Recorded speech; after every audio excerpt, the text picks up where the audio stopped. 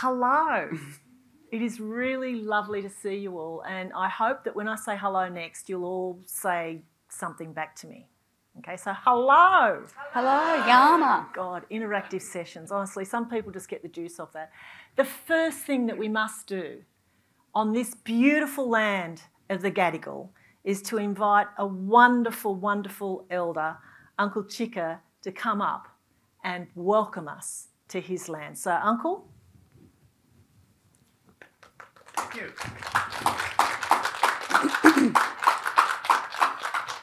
My name is uh, Charles Madden, but known around the inner city of Sydney as Chika.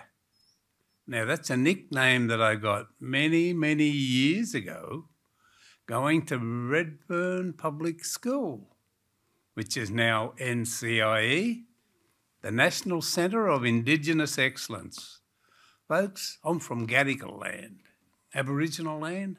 That's the land we're on at the moment. For many, many years, I've lived and worked around the city of Sydney. I've been involved with many different Aboriginal organisations over the years. I've been a director with the Aboriginal Medical Service at Redfern for over 40 years. Also a director with the Redfern Aboriginal Housing Company, Aboriginal Hostels Australia, and the Metropolitan Local Aboriginal Land Council. I've got to mention it, folks. Also, a life member of the Redfern All Blacks Rugby League Football Club. Yeah. Folks, for many, many years I've lived and worked around the city of Sydney. I'd like to take this opportunity this morning to extend a warm and sincere welcome to all of my Aboriginal brothers and sisters, non Aboriginal brothers and sisters we have any brothers and sisters here from the Torres Strait or further afar across the seas, welcome. Welcome to Gadigal land. The Gadigal clan is one of 29 that makes up the Eora Nation. The Eora Nation is bordered by three distinctive landmarks. We have the Hawkesbury River to the north, and the Nepean to the west, and the Georges River to the south. Those three rivers form the boundaries of the Eora Nation. Folks, if you've travelled across this great city of ours today, the state, or from afar, welcome. Welcome to Gadigal land. Enjoy your stay. Have a safe and trouble free trip home.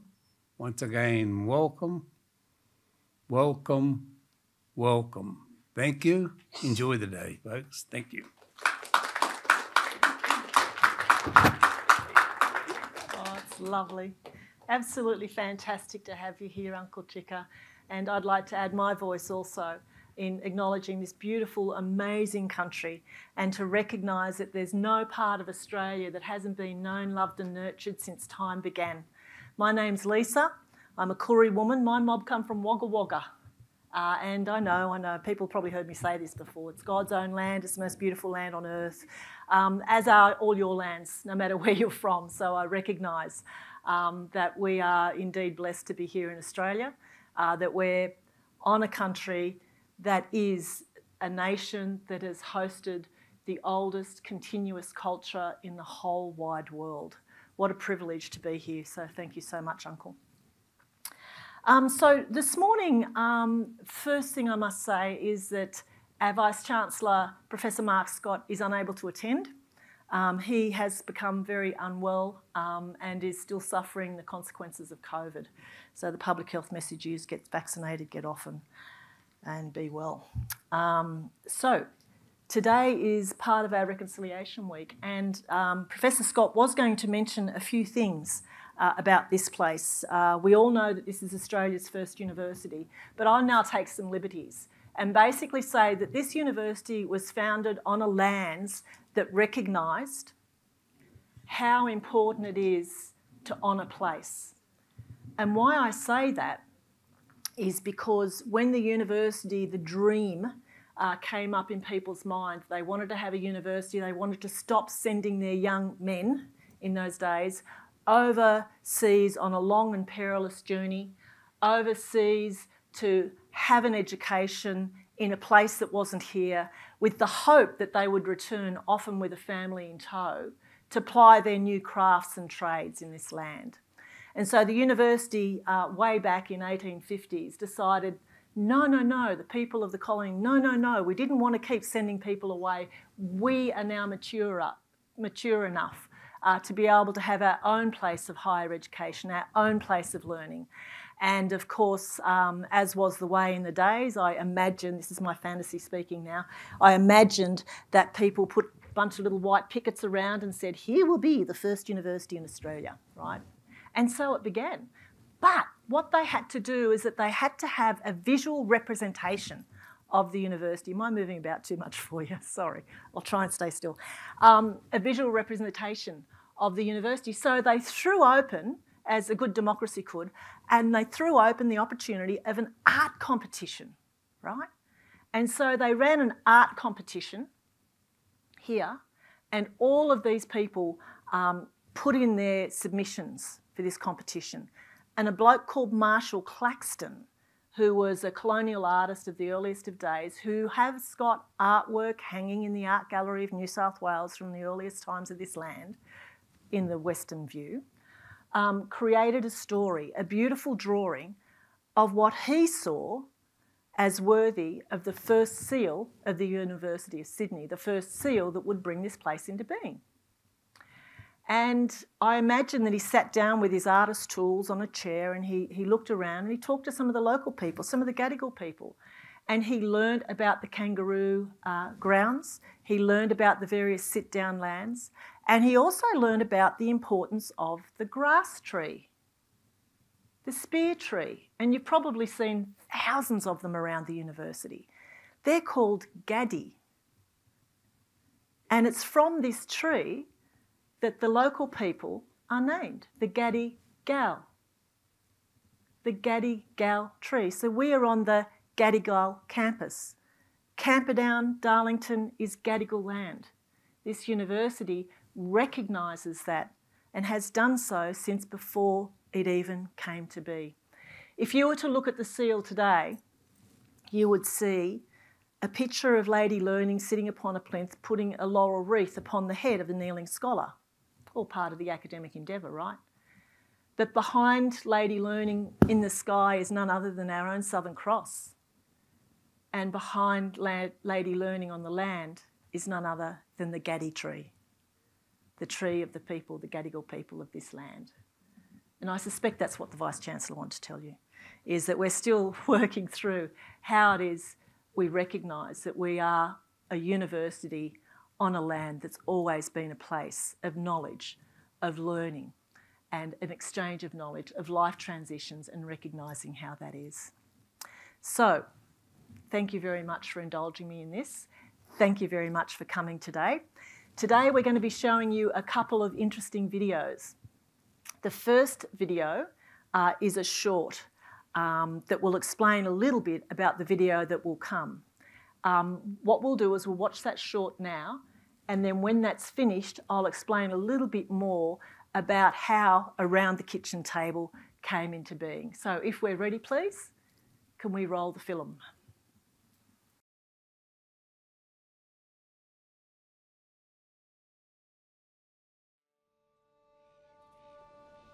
Australia has never had the conversations that it needs to have at every level of society to be able to complete the unfinished business of this land. So in the day, the time was right because Australians were really saying, who are we as a nation? You know, we're coming up to the year 2000, that's not far away. How can we get the role of racism out of our lives and the role of deficit understanding out of our lives so we can truly see how magnificent this place is and how magnificent her peoples are, all of us. That's what I felt uh, at the time, and I still feel that passionately now. In um, the 90s, the reconciliation movement came out of these recommendations about the endemic racism in Australian society. It reasserted that racism is a real problem in Australia and that self determination is essential in Australia. We had a real sense that if anything's going to change, it's going to take women uh, to empower each other, to have those difficult conversations at different kitchen tables. Away it went. And Lisa was the first one who said, Well, we'll meet together and we'll get some ideas and so on and so forth. And the material from this brainstorm that we had, where Lisa also um, shared her um, insight into the name of the video, she said, It's going to be called Around the Kitchen Table because that's where all important decisions are ever made.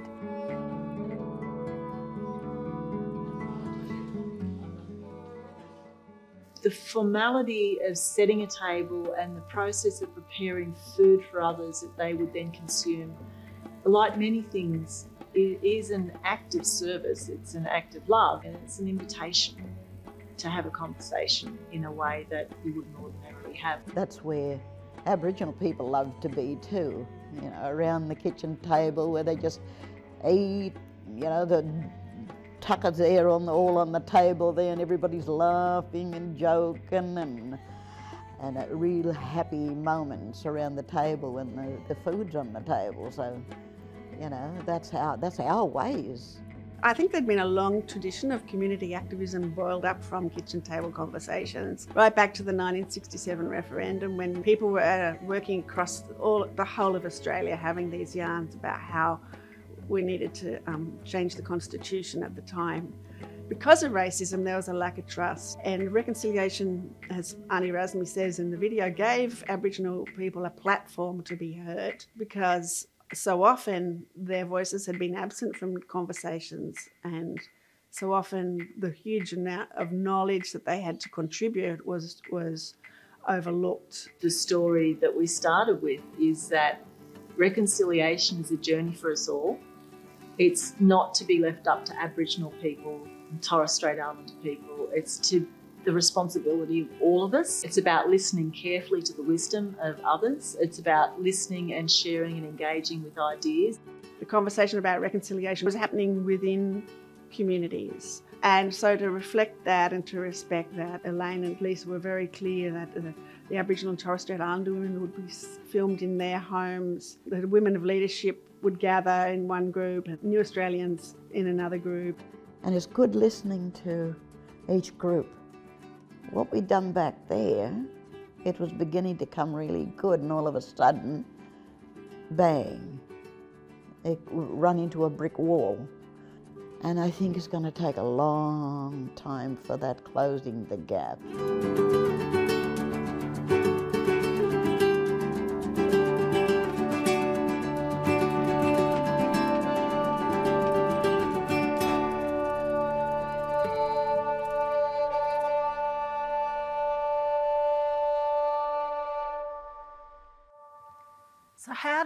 Begin? And a lot of people ask that. How on earth? This is 24 years old. And when we did this video, we were thinking at the time, this could have been done 20 years prior. Would the message have changed? And if we'd done it 20 years before then, would it have been much different? Well, the clothes might be a bit different and the technology would have been a bit different, but still, we have a lot of unfinished business of this land. And we're going to show you the video in a moment. Just imagine uh, that you were there 24 years ago. Just imagine you're a participant at that table. Just imagine what it would be like uh, to have uh, that kind of aspiration that in a decade or two decades, Australia would have a treaty. We would have closed the gap. Aboriginal children wouldn't be residing in out of home care to the rates uh, that some would imagine uh, they could be uh, and that all Australians knew something of language, of how it is to belong. These are really vital conversations now as they were then. But how this started um, was, um, of course, at the State Library of New South Wales in the early 90s.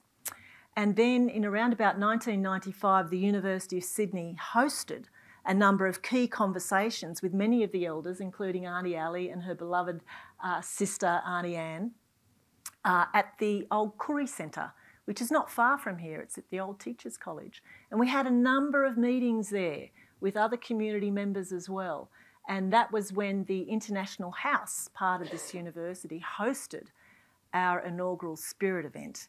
And it was from that spirit event that a lot of the artwork that you see in the movie uh, in a moment or in the in the program, the one hour video that you're about to witness, or 34 minute video that you're about to witness, uh, came from. So, without further ado, let's go to the video. Thank you.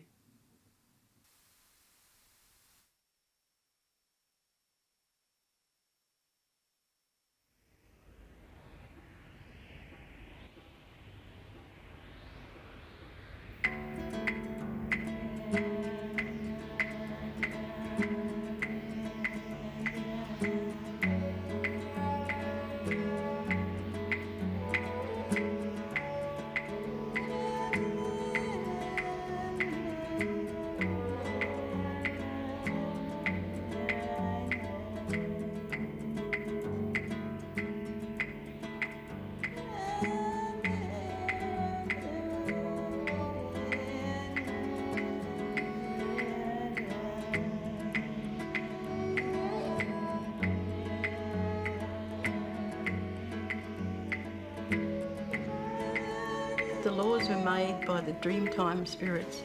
For Aboriginal people, they aren't changed.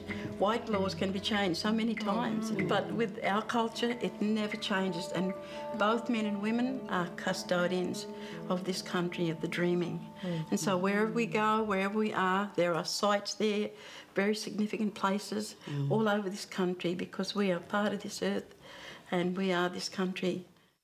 Reconciliation is a big word. Maybe it's not very clear to people.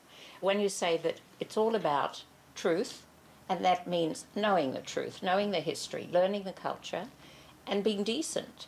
And I think that's fairly irresistible to most people. It's acceptance and it's accepting one another. I prefer to think of reconciliation as a, a bridge building time. Mm.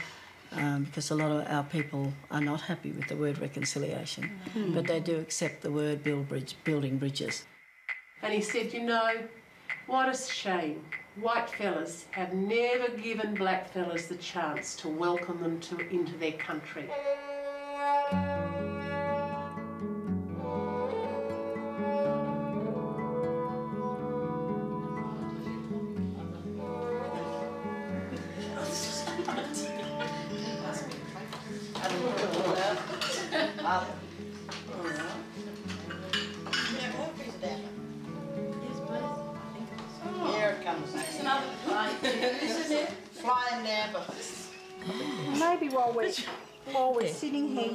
Aunties might like to talk to me about seeing I'm a young fella, young one. Yeah. Tell me about some of the protocols and things that we should be thinking about in this reconciliation. One protocol I think we should all remember. Um, there's other pro- protocols when coming into country, um, being welcomed in, and um, I found that coming here um, into this new part of the country, I've never been here before, so I don't know much history of the the uh, traditional owners that were here. This is a Tharawal. This is Tharawal land. Is it? Yeah, this this and down there there are over 300 sites that this house looks down on on Holsworthy. So yeah, this is Tharawal land. We find out we found out bef- when we bought this land whose land it was on. So So in a way, you've welcomed us. yes, I welcome you onto Tharawal land. Thank you.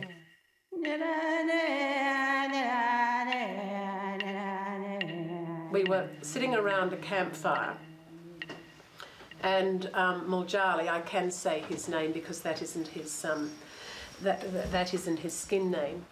Long time ago, he said, when strangers came into our country, we would go out to welcome them.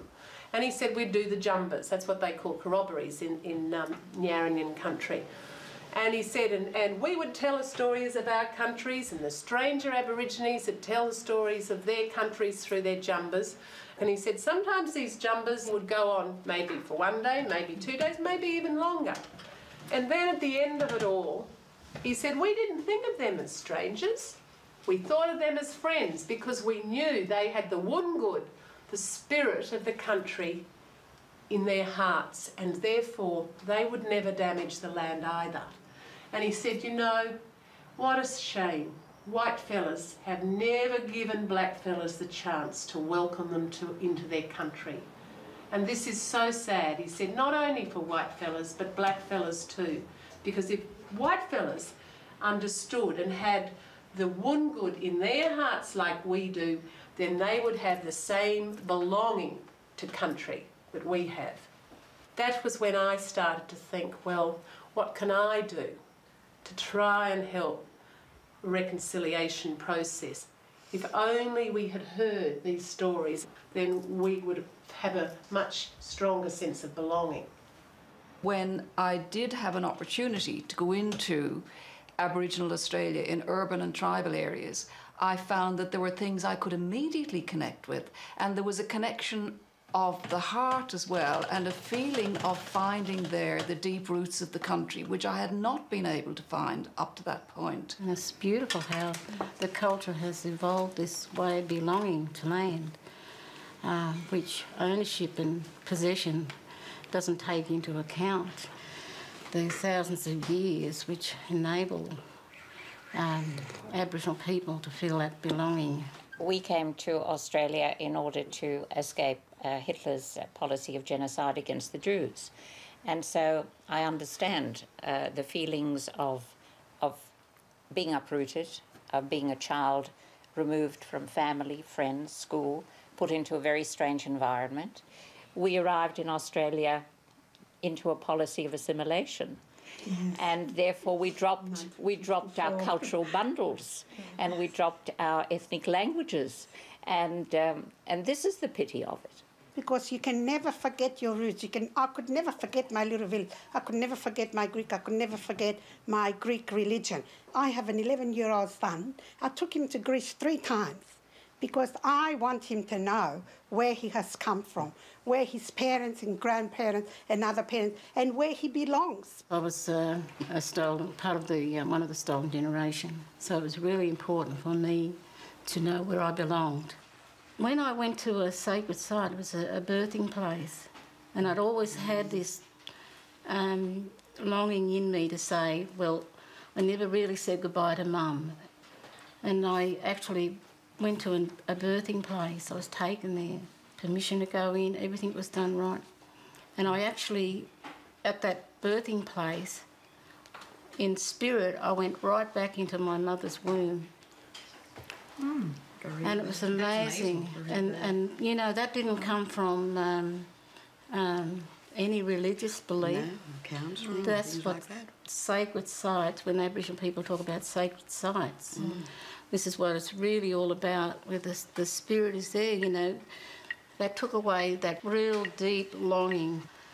That sort of healing is what's got to happen to anybody that's been hurt. Um, whether they've been forcibly removed, whether they've been taken from their land, whatever way it's been.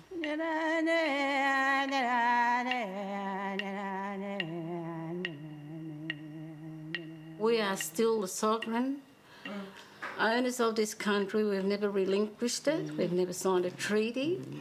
and we we've got to keep enforcing that into our children because we're really we're not dispossessed people. We still walk this land. We still are the owners of this land. We belong to the land. If we lose our native title, I feel there won't be any reconciliation.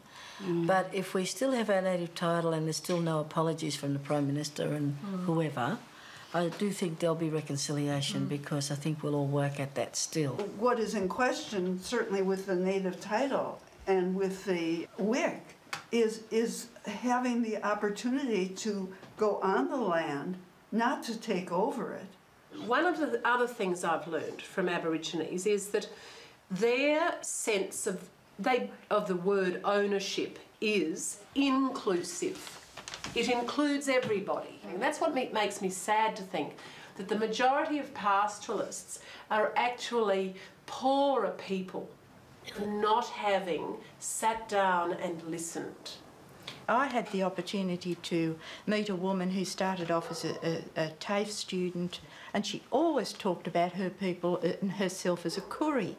This helped me to understand that it wasn't what how dark her skin was; it was her concept of herself that really mattered. When I'm in the south, people say I'm Torres Strait. And when I'm with some Torres Strait people, you say I've been with the Aboriginal people too long, so I'm more Aboriginal there. Yeah, when I'm with white people, they say you're black. When you're with black people, you say you're white.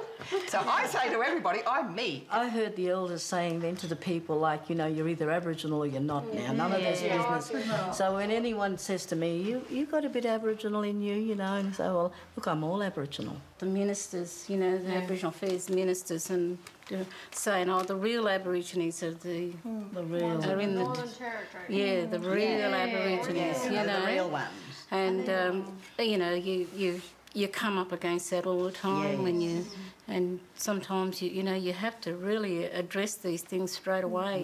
They seriously don't understand mm. that those people can be Aborigine because they immediately think of traditional Aboriginal people. They That- immediately doesn't think of skin colour Yeah, colour of skin. as defining them being Yeah, Aboriginal, but it doesn't. I mean, what defines me being Irish?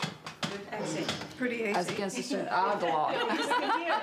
skin colour. no, no, but you see, exactly the same thing happens. And I've had it said to me here, ah, you're not really Irish because you come from the city and you don't come from the West. That's exactly the same thing. That makes me an urban Irish as against a tribal Irish. Well, I was born in central New South Wales, central western New South Wales, and I went to a one teacher school, and there are black children there. And it wasn't until I read Sally Morgan's book that I realised that they were Aboriginal, because I thought we were always told they're Indian. Ah. And when she talks about being Indian in the book, I suddenly go click. And I said, Well, why do we call them Indian? And they said, Well, it was better than being Aboriginal. Yes. And my father always said, keep yourself nice and tidy if you're going to be in the uh, white society. They're going to look at you. keep yourself nice and tidy. Gossamer hairspray when it first came out. no heaviest or wind had ever moved my hair. I had done it up, really done myself up.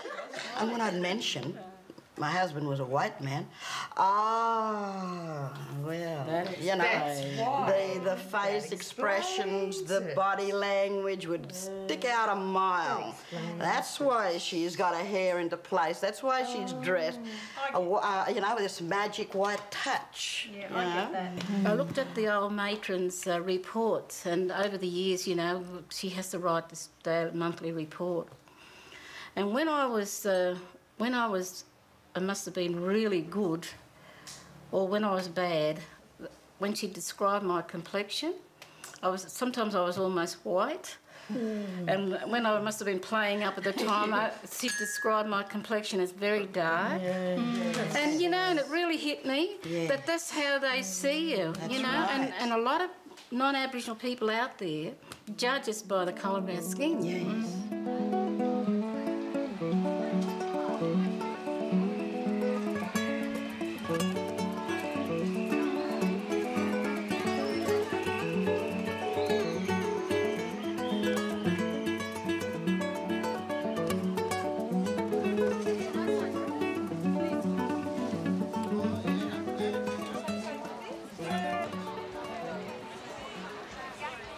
we must do is not make fe- people feel because they didn't know the Aboriginal mm. culture. They are out because they feel that they, they feel that they are not good enough to be in this movement because we recognize that the reconciliation process now has become the people's movement. Can I tell you something? In order to change situations in a society, you have to educate and legislate. Right? So we need leadership. And unless there is leadership from the Prime Minister, the people out there, they're scared. Some of them are scared. The other ones, like us, we know the issues, we've been through them, and we're doing something about it. We raise children, we teach them to apologise, and we say, you must say sorry in order to make progress and move on to the next area. Here's a man who says he's a family man, and he can't do the fundamental things that you do in families, which is deal with the past in order to make progress in the future. There are apologies happening everywhere. The churches are apologising. Sorry Different books. people, the sorry Yeah. books around, and and a lot of the Aboriginal people know that this isn't just for stolen babies, but this is sorry for what we've done to you. Yeah. You, you, mm. I mean, if somebody says sorry to you, you feel like forgiving them, especially if they mean it.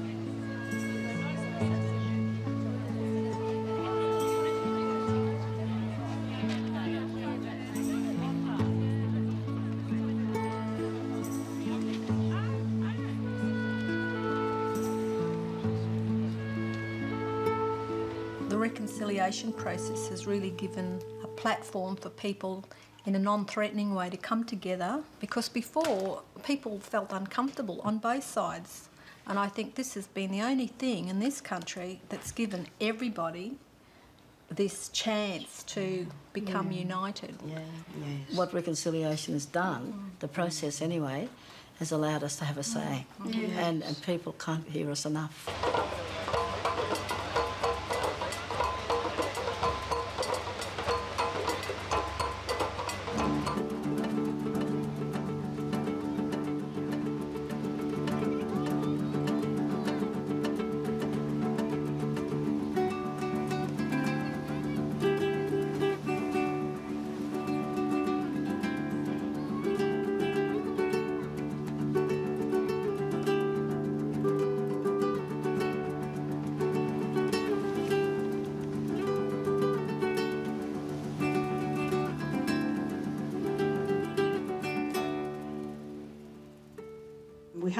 Practical and to do some practical things to demonstrate, you know, that we really care for each other and also that we are all the people of Australia. We took um, a youth children to the Aboriginal land and then we show them the, the kind of culture, the kind of uh, uh, way of life they were living.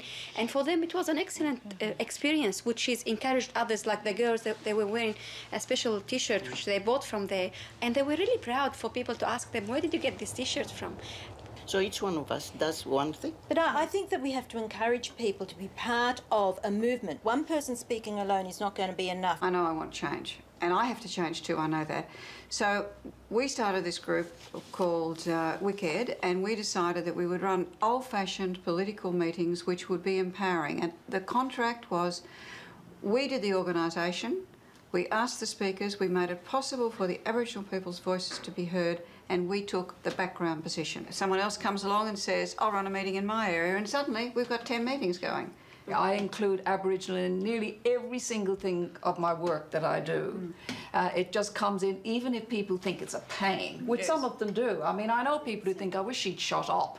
Last year at my graduation ceremonies, what I did when I got up was welcome people uh, to Ngunnawal country. Well, nobody's ever done this at a university before, and I could see some of the people sitting on the stage nearly going off their faces. And I thought, well, it's too bad, but by the end of nine graduation ceremonies, it has had the most enormous effect. Just somebody in, in school who's got a kid at school can say to the principal of the school, Look, could you make sure every day at assembly that we just acknowledge country?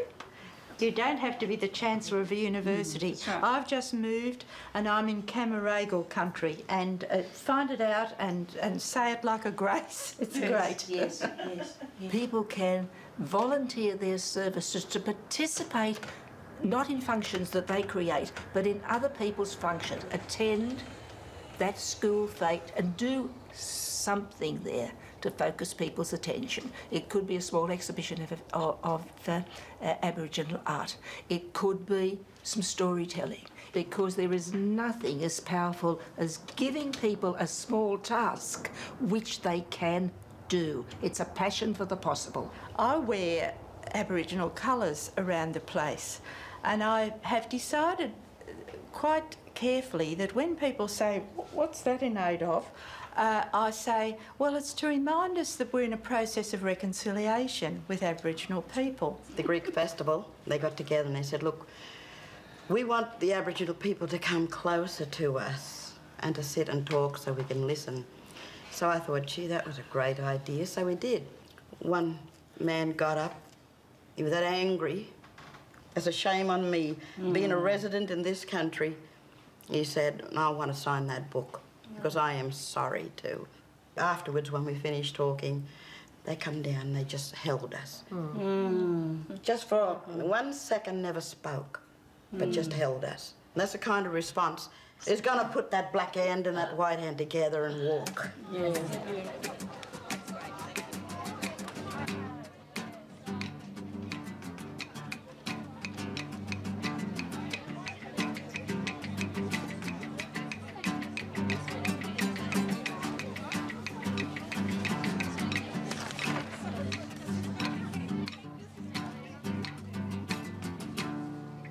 Sorry, that's not enough. We've got to do something.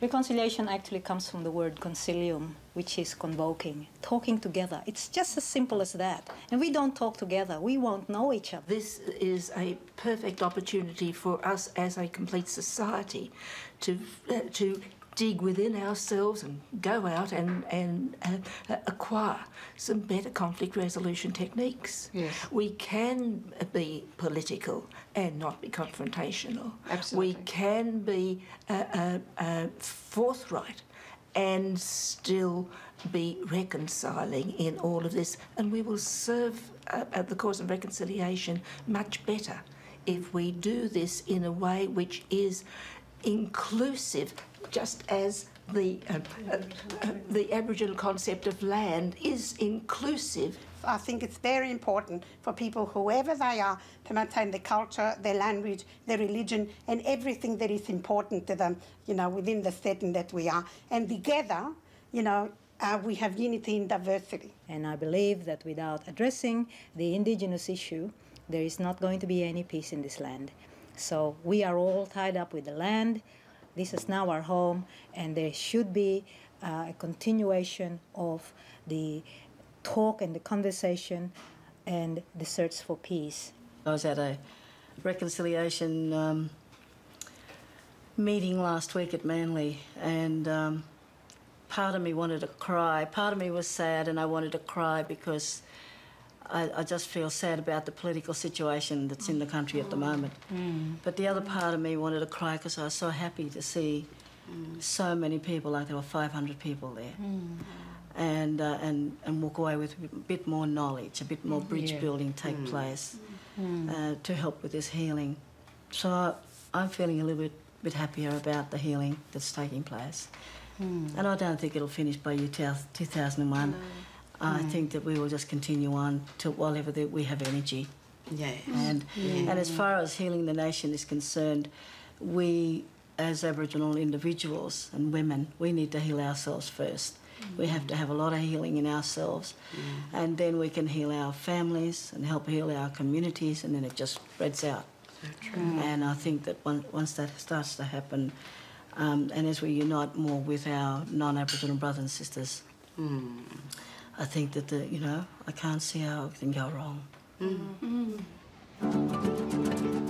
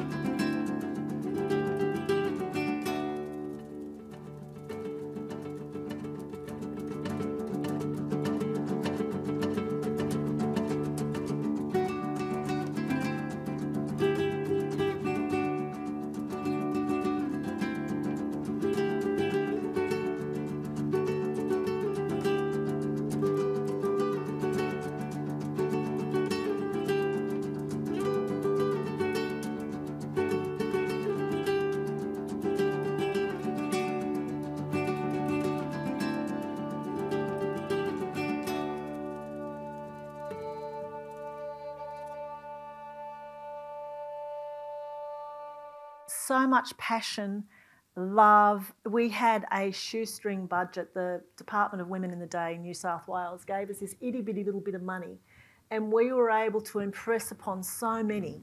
Um, to be able to participate in this, and that credits, I, you know, I, I, do expect everyone to have a good look at those credits. And I saw a few people go, "Oh wow, I see some names I know," um, so it's absolutely fantastic. So it was done with a lot of love. The other thing that um, it was done with um, is that it was done with a lot of babies that were being cooked. And uh, we have a number of children who are reconciliation babies, and one of them sitting in this room right now, and I'm so terribly proud of my niece. Um, and we've also got another one around about now that's about to come into the world. Uh, who's a member of our team. So there's another reconciliation baby for you. So we'll claim credit for every baby born in between, okay? So I'm delighted to be able to say that um, we've got two absolutely amazing women sitting here with me. Auntie Ali Golding is a Biripi woman who grew up on uh, Mish at Purfleet outside of Taree, lived on the block for a long, long time. Mm, 27 Was known years. as the Rose of Redfern at one point, and is actually the famous Gossamer girl that you saw in the movie. um, she has been an extraordinary advocate. Um, she's always been there for Aboriginal um, kids on the block. She's always supported this work as hard as it has been sometimes and as much uh, effort as it has taken. Mm. Uh, Auntie Ali has always been there with us, and um, you know, there's a lot of people that were in the film who are no longer with us, who are hoping to see a different story by this time um, and in their lifetimes, but nonetheless, we have got a sacred journey to continue that important um, work. And we have had an apology from the Mm, we government of have. the. And, you know, Wik did come through. Um, and native title is journeying. And there are discussions of treaty. And there are discussions about a voice. But when you think about all that needs to happen, um, you know, we have a long way to go. With me also is Rosie Ogilvie, uh, one of my um, peers and colleagues, the Vice Principal of Advancement. She leads the team responsible for delivering major gifts to the university and uh, was very much a part of the successful Inspired campaign, where she basically asked people to envision what a future for this university could look like and invited them to contribute. Uh, and they did so willingly and in volume. And so a lot of the work that we do now in this portfolio um, is, is in part because of the work of Rosie and her team and of others like her in the world of philanthropy. So it's absolutely wonderful um, to have you both here. So we'll have a few questions of our panellists, then hopefully we'll have a couple of minutes to ask for some reflections from the audience. Um, and then following, we will show you another short video about the voice from the heart, which we're very excited about. And then you're all invited to morning tea upstairs. So we've got a nice fancy morning tea for you, so don't run away. So I might start with a statement. Be brave, make change is the theme for this year's National Reconciliation Week. Now, Auntie Ali, what does that mean to you to be brave and make change this Reconciliation Week? What's the first one? Make. Be uh, brave. Be brave And make change. and make change. When I did look at the, that film, I thought to myself, where did it all go? Where did it all go? That activity, the busy part of, of reconciliation back then, with all the sea of hands being placed around all different nationalities of people with children, all gathering together with the sea of hands, all that happenings of that activities back there and then. Where have that gone? It reminds me of the, um, that song, Where have all Flowers the gone? flowers gone? When I was looking at that, that uh, film. And, um, you know, NAIDOC Week, we know, has been closed through this COVID 19, has stopped and blocked a lot of things for, for our energy to move on and to think what we're going to do now, you know. Where, how are we going to be, go from here now and walk onwards now after we've been standing still and coming up against this brick wall of the nine, um, COVID 19. So, um, repeat that word to me again. Uh, Be Zelisa. brave. Be brave. Make change. And make change. That braveness, we did lose it along the way. I believe that. It went all quite. Long before the COVID 19 came, that brave, braveness sort of vanished a little bit, which is to me, it was really sad. You know, there's, there's been a jump from the 60s. There was the our people out on the streets protesting for what we need, what our people need in this country. And then that was all alive and a lot of activities, a lot of things was going on then. You know, people were waking up and saying, hey, these Aboriginal people, they're, they're, they're um, you know, taking these flags out on the streets, taking the mics in the park there. And here they are, you know, loud, and we're hearing them. Their voices came. But to me, uh, as an elder now, thinking back in that time, from the 60s, where the noise was, where the voice was, it, it faded. Yeah. That faded until NAIDOC week started established with, you know, with the um, NAIDOC week every year. That started coming back again. It sort of started to lift again. The voices started of being heard again. And I'm thinking, you know, oh, hello, the voice is getting a bit loud, but not as loud as the 60s. We need to get louder. And somewhere along the line, with NAIDOC weeks, it wasn't, it wasn't good enough as the sea of hands, what I said. That activity took place outside because I think NAIDOC week has been getting closed up and having all entertainment in buildings in the opera house, all indoors and not outdoors so much as when the sea of hands, all the beaches, all the parks with filled, people taking their own hands, colourful hands and placing it, and coming together like that, committing one another in that way. But now I feel that boldness has faded, and we need that to come back now.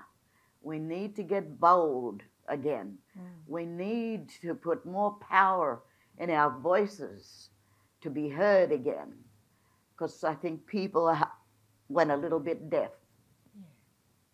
They went a little bit deaf of our voices. So it's time, I believe now, that our voices should come out louder now. And we should get bolder, and we still should step forward and look at our children and see how important our children are today. We have to step out. We have to be bold. We have to voice, uh, have our voice heard and be loud for them, for them to live on and carry their, vo- their voices on, to their voices onto the next generation. So let's try doing that in being noisy again and voice ourselves and be bold this time. All right. Sounds like sounds like a call to action. You know, we um, you're right. You know, things things have gone a little bit quieter, and the opportunity for us to be brave and make change is, is upon us. And um, you know, I suppose also right now we're also concerned about so much. We've pushed so much onto future generations.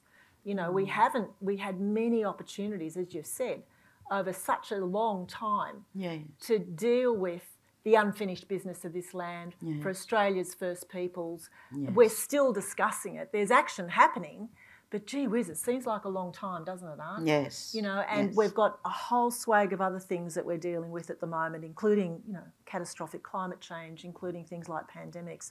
I mean, there's there's some massive shifts, so now's the time. Yes. Rosie, how about you? Be brave. Um, So, as a non Aboriginal woman, when I was thinking about this week's Re- Re- Reconciliation Week's theme, for me, um, the thing that first came to mind was brave, brave enough to keep learning and brave enough to say that I don't know and I need to ask the question. And I need, I was just thinking the other day, I'm, I'm heading to Melbourne in a few weeks' time, and I thought, I left Melbourne in 2004, and um, at that time, I, I, had never seen acknowledgement of country or a welcome to country. It was not part of ah. everything about life in Melbourne at that time. And so I actually didn't even know the Aboriginal name for where Melbourne was. And um, so I thought, well, that's not good enough. I need to find out. So I've done a lot of research online um, and tried to sort of just acknowledge the fact that there is no end to the learning that you can do. And, and it kind of, I think, supports reconciliation and that it helps encourage a sense of impatience that there's not enough done yet. And um, we're on a journey that doesn't have an end date yet. Um, and we really have to kind of keep pushing. Um, and the more I learn, the more I think that that is true. Yeah, I suppose the thing with change and the thing with journey is that there isn't an end point, is there? But what we do know is what we have now uh, is not satisfactory, it's mm. not respectful. Mm. You've described philanthropy as an act of reconciliation. I'd really love you to unpack that a little bit mm-hmm. for us. Well, um, thinking about, uh, particularly thinking about our donors who who give to Aboriginal purposes, Aboriginal Torres Strait Islander purposes at the university. Um, just reflecting on my conversations with them and, and when they've described what motivates them to make a gift, there are a couple of things that, that really, I think, resonate in the context of Reconciliation Week. Um, the first is that, that they, to a T, all have a strong sense of social justice and that things need to there is, a, there is currently an injustice um, in the world in, as regards all sorts of issues related to Aboriginal Torres Strait Islanders. And um, they're not happy about it, it's not good enough. They also have a strong sense that, um, that words are not enough, action is, ac- action is what's required. And for them, their philanthropy is a way of taking action um, and um, actually empowering others, particularly empowering Aboriginal and Torres Strait Islanders coming to the university, being on the lands here. Um, and then I think there's a sense of hope and faith that things can get better. And um, that, that part of what they're doing by giving a gift um, uh, to the university is expressing that hope and faith that things will, will improve and that they want to be part of that journey. And so for me, those three points are um, not necessarily everything about what reconciliation is about, but I think though they overlap heavily with a lot of themes that come through um, through reconciliation discussions and, and the week that we're having. Mm, thank you so much. Yeah, that's a really important point, and it sort of goes back to the heart of really what we're talking about, which is about trust and about love and about, about trust, respect. especially. Yeah. Because you know, I'm, I, I look around at empty seats here, and so long I've been, you know, with this reconciliation group, and I think now and again there is always a one or two Aboriginal person in this, the uh, the reconciliation group I've been been in for years, that they'd come and they go. I was always been there, and in, uh, I I felt really alone as an Aboriginal person in this group of non Aboriginal people who were thinking about supporting and fighting for the rights of Aboriginal people in this country. And I was just the Aboriginal person that was in this group all the time. And I'm looking around here even tonight, you know, when, uh, this afternoon. Why, it would have been really good seeing Aboriginal people sitting all there, coming together so we can all think together, wish together, hope together, you know, and work together and voice ourselves together. But it's not happening among our black people. Where are they? So I think all these black organisations that's in every state in Australia, even in New South Wales, even in Sydney here, would come together and, and really, really support what the reconciliation groups are doing in, in, in Sydney, especially. And if we can widen and show that goodness of black and white coming together for the for that greatest and hope and reasons for Aboriginal people of our great needs in this country, it much be much better. So I, I think it was uh, Sister Betty Little Mm. that mentioned it. She said it's not only white people that could be aggressive and being stubborn towards hearing the voice of Aboriginal people. There are our own our own Aboriginal people are like this too. Or who do those white fellows think they are? Going out there talking about us and all this and that, not thinking right in their minds mm. that, hey, listen to them. They are valuable people, these white people, when they get up there and be bold and want to do something and support Aboriginal people, where this black person should be going and saying, thank you. I value this, what you're doing, what, where your heart is. You know, you and genuine, a lot of genuine people. I value a lot of white, genuine friends of mine of what they're doing. But there's a lot more Aboriginal people. Our organisations should be supporting us, not turning away and saying, who do these white people think they are, what they're doing? They should come together. Mm. Some of them could be really stubborn in their own ways. And then that's my greatest hope as an Aboriginal elder. I want to see my people have that light light up in their in their minds, in their brains, and in their hearts, and their spirits.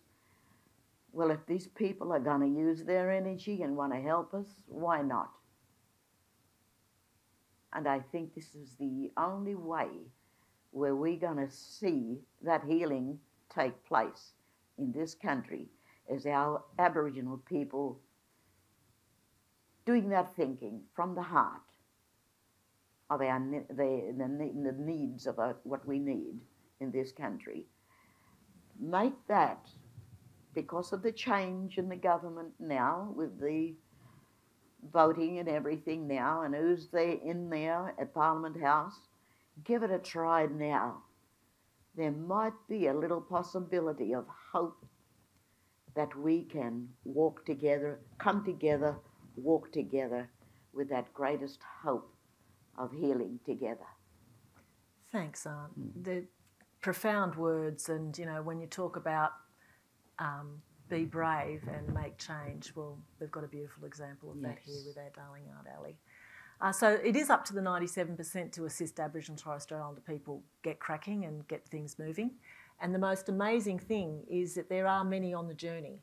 Um, and that journey is different, but I, I think you're right. We do absolutely need to get out there and get productive. Now, we have time for only one question, and I can see um, uh, Burning Illusions waving her hand madly uh, to say a word. Burning Illusion. So, this is Sally Fitzpatrick, who was the producer of the Around the Kitchen Table.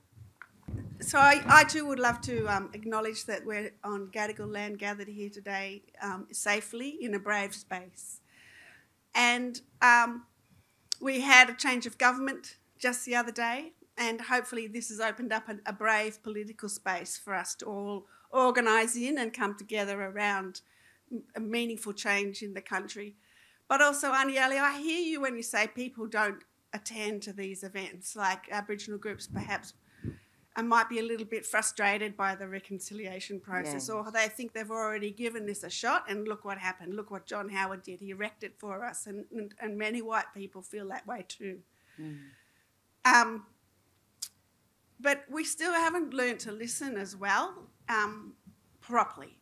I really think, as much as there is is a need for a voice, there is a really important need to listen. And whitefellas haven't really learned to attend with open hearts and listen properly, like we saw the other day on Channel 7 when they put that ridiculous documentary about that policeman Oh, for my family on the very same day when we're celebrating from the new government.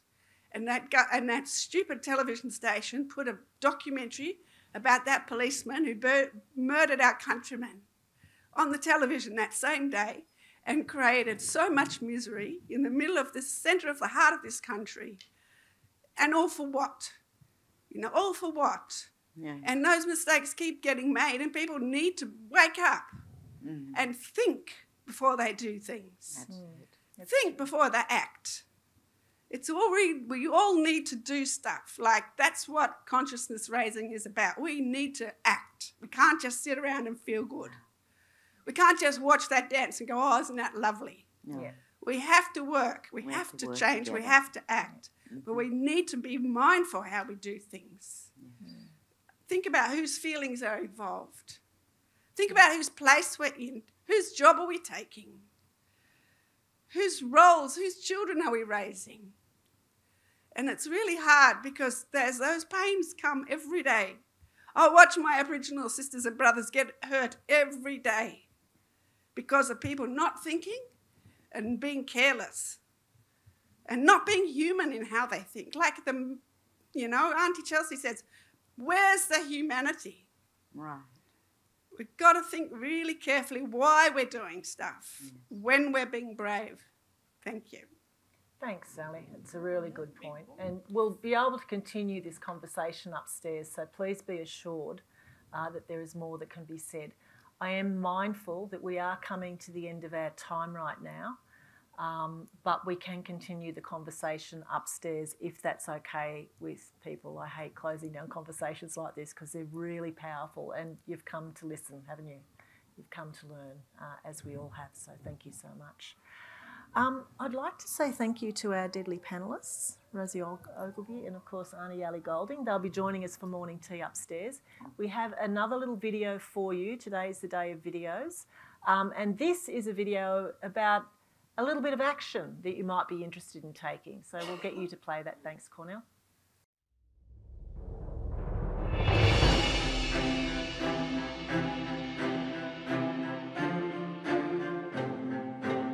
For a long time, for 200 and something years, it's been Europeans or white settlers making decisions for and about Aboriginal people. Um, and I think if we're ever going to, you know, make steps in self-determination, Aboriginal people know Aboriginal people best. Um, so I think it's really important that we're the ones making decisions that directly affect us. 2022, we still don't have a framework where Indigenous people are represented into our legal, legislative, and constitutional processes.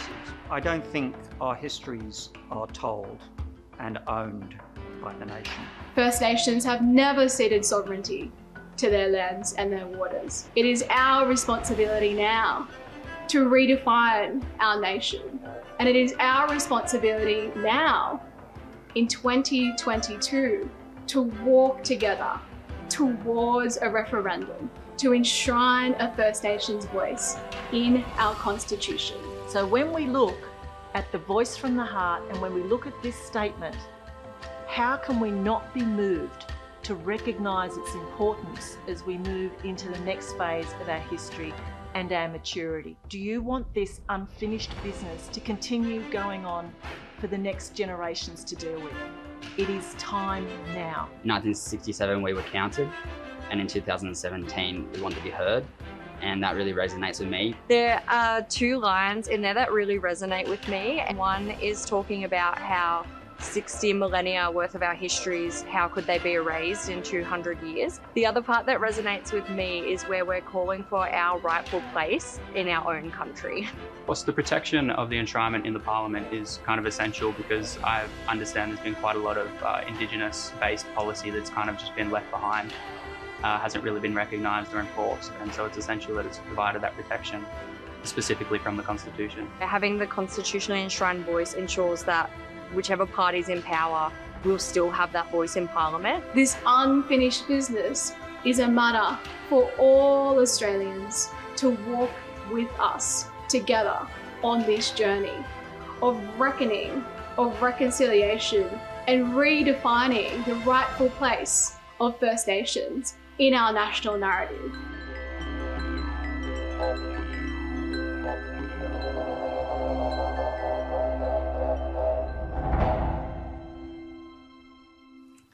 Spot on. that. She's spot on that Taylor, isn't she? Yes. She knows she knows how to get the heart beating. Thank you so much for joining us today. Um, there's been a, a lot we can do, a lot we have done, and a lot more to do. Uh, I'd like to acknowledge uh, all of the team that has made this happen. Thank you so much, Rosie. Thank you so much, Aunt. Thank you so much, Uncle, uh, for coming and welcoming us to country. He's gone off to the next thing that he has to do. I'd like to uh, recognise also our deadly Auslan interpreters who are here, and they always get a bit of a surprise because then they have to interpret their own acknowledgement, which is really good.